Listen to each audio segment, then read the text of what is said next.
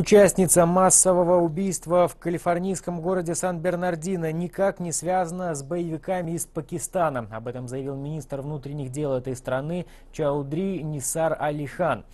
Он подтвердил, что Ташфин Малик действительно родилась в Пакистане, но большую часть своей жизни провела в Саудовской Аравии. Там уже 25 лет живет ее семья.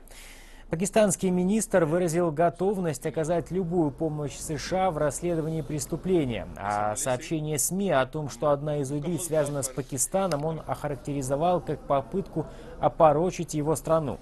Напомню, что 2 декабря в результате стрельбы в Сан-Бернардино, которую Ташфин Малик открыла вместе со своим мужем э, Саидом Фаруком, погибли 14 человек, еще 21 был ранен.